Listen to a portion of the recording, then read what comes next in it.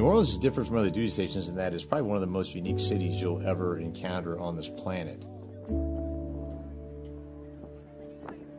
Uh, most of the places that Marines are traditionally stationed, East Coast, West Coast, Okinawa, they all have their own unique attributes and, and uh, positive aspects. But New Orleans, to me, uh, is different in that it's a thriving city. It's constantly changing. I, I, don't think any two people really live in the same city, so to speak. And also, there's a lot of hidden gems here. If you look hard enough, you will find on any given day something new, something exciting, something interesting that will enhance your life.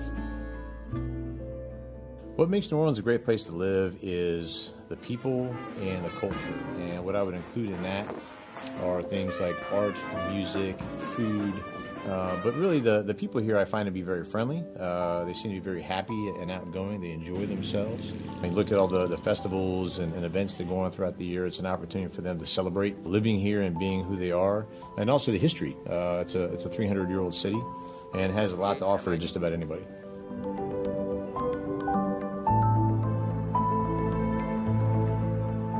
I would offer that New Orleans is so much more than what people typically think. I think one of the important things to really understand is it's not just Fat Tuesday on on uh, on Mardi Gras. There's uh, there's so much to see and do here.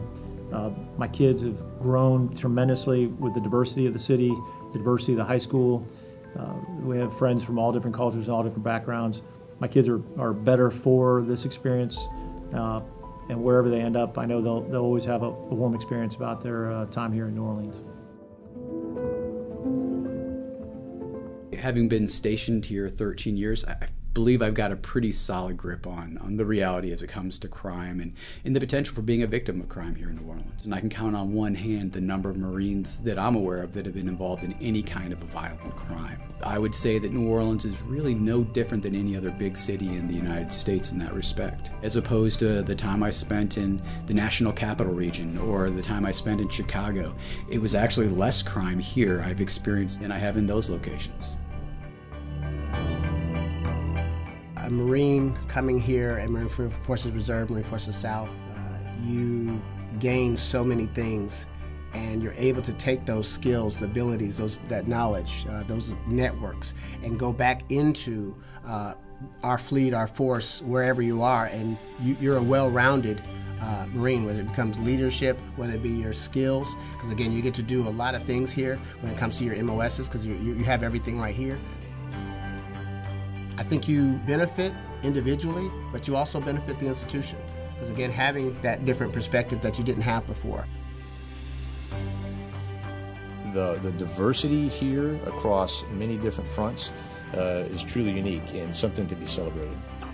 So I've got a chance to work with some incredibly talented people, some very hardworking people, some very dedicated people. And we've already accomplished a lot just in the short year that I've been here, but also I've been able to help shape the future and make sure that they're ready for all the challenges that the world and the nation may present to them. And if you have a natural curiosity about yourself and a love of uh, your environment and the things around you, uh, you will find something that interests you. One, two, three,